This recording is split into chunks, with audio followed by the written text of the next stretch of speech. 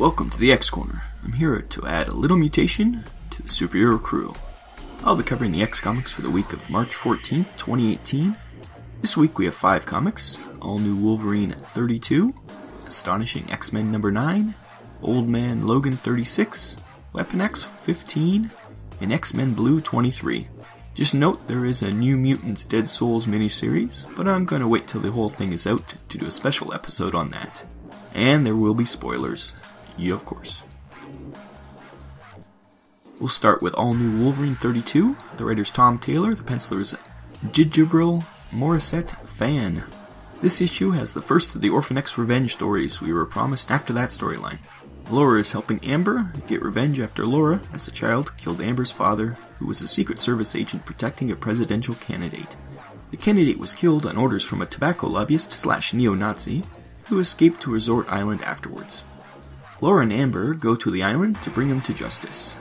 After Amber seems to be caught, Laura and her turn the tides on evil and bring the old man out in a suitcase to face justice in the US.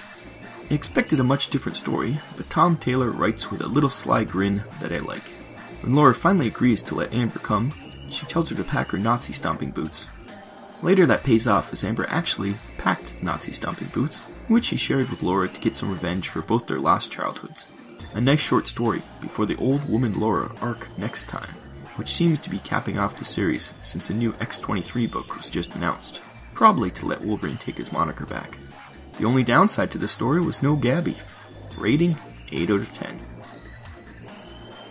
Then there's Astonishing X Men number 9, writers Charles Soule and the pencilers Matteo Buffagni. So Proteus left X and Psylocke in a mindstorm last issue. Archangel realizes that Proteus is weak to metal, so he and Logan go in to save them. Archangel saves Psylocke and wraps his metal wings around her to protect her, but Logan takes a different approach. He believes that since X took Fantomex's body, he'll have his healing factor, so he stabs him. Turns out that X just reconstructed the body from Fantomex, so no healing factor. Once on the Blackbird, X is being tended to by the sick bay, and Bishop tells Psylocke about the prophesized Mind Killer War, and all signs point to this being the beginning. Meanwhile, in Scotland, Proteus has taken over a town by promising the people everything they ever wanted, and he builds a wall around it. X wakes up and knows what Proteus is planning. He wants to bring the astral plane to Earth, which would be bad. Charles Soule continues to write a good yarn with a bunch of characters I'm not that crazy about. The art has taken a dip, but that is to be expected with Marvel books nowadays. The art is definitely not the focus anymore. I'm interested to see where this goes, and the idea that Bishop has been off saving the future over and over again is neat. A solid X book to be sure. The rest of that X team, though, get very few moments, and some do get lost in the group, so I hope they juggle that a bit better in the future. Rating 7 out of 10. Then there's Old Man Logan 36, the writers Ed Brisson, and the pencilers Dalibor Talajic. So Logan is back in New York, and just found out that Kingpin is mayor. I guess that happened in Daredevil. Logan is approached by a man who says he has a drive that will take down Kingpin. But there's goons after him, and he needs Logan to protect him. Unfortunately, the drive is encrypted, but the guy knows that Kingpin guarded the thing with his life, so it must be important. Logan reluctantly agrees, but the guy is shot, and Logan is on the run with the drive. Kingpin is twisting the events to make it look like Logan was the crazed vigilante, and Logan is bleeding profusely since his healing factor is failing. Also, to make matters worse, Bullseye is being sent to get the drive back. At least it isn't a crossover. At least not yet. I expect Logan to meet up with Daredevil or Punisher at some point, but as long as it's all in his book, I'm okay with that. I hope I'm wrong, but what's on the drive seems obvious, because we know Logan can't end Kingpin as mayor. That's Daredevil's job. So it has to be something important to Kingpin, but not against him. I assume it's pictures or videos of a dead loved one. We'll see. I'm not a big fan of Wolverine back in New York. I liked him better in the east or even out west of the US. Also, Logan vs. Bullseye seems to be a dead end. Unless that's how they end Old Man Logan. Otherwise, we know that neither will be hurt. This series seems to be petering out with Logan's healing factor, and I don't think either are long for this world. Old Man Logan was a substitute for the real Wolverine, and now that he's coming back, the old man is on life support. I hope they'll just let him retire to a cabin in the woods, but comics usually like to tie stories like this permanently, so we'll see. Rating 6 out of 10. Here's the big one Weapon X 15. The writers Greg Pak and Fred Van Lente. Pencilers Roland Boschi. So here we go. I literally wanted to say, nope, I'm out and be done with this series. But something told me this might be okay. Written by Greg Pak and Fred Van Lente. I think Marvel realized Pak needed some help. And Van Lente did help indeed. So the rest of the Weapon X team went on vacation, so Old Man Logan was left on the ship alone. An alarm goes off and he realizes it's his birthday. And then Sabretooth attacks. Sabretooth has been attacking Wolverine on his birthday since forever, as seen by the splash page. Wolverine keeps telling Sabretooth to back down, but Sabretooth thinks he's just being scared. It turns out, though, that when Logan killed the future Sabretooth, it sent him over the edge into a berserker rage that resulted in him killing all the X-Men. Meanwhile, during their fight, the ship has been damaged and it crashes into what looks like a prison for monsters. Wherever the ship was from, that's what its job was, to hunt down and contain monsters. So I guess for some reason he crashed there. Sabretooth is excited when he sees all the monsters, but ecstatic when Logan bursts out of the crash in a berserker rage.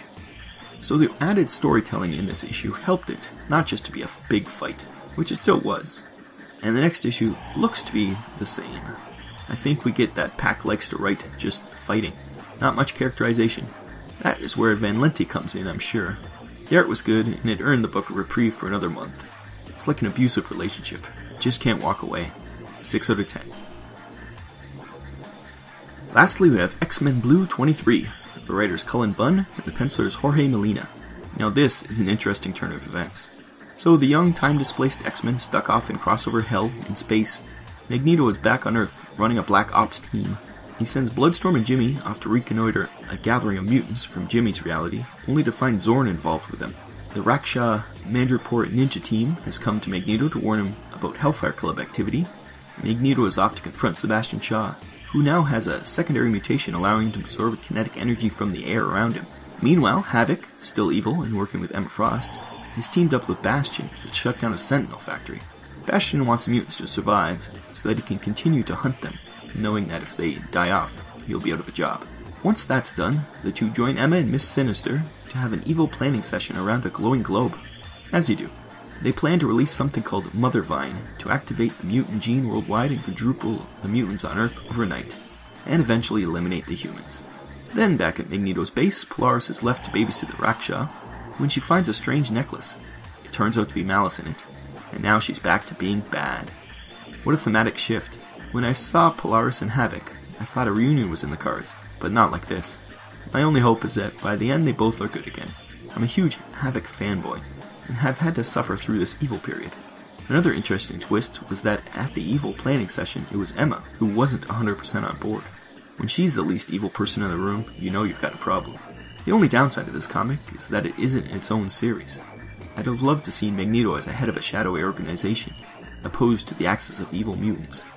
I just hope the young X-Men don't come back too soon and ruin all the fun. Rating? 9 out of 10.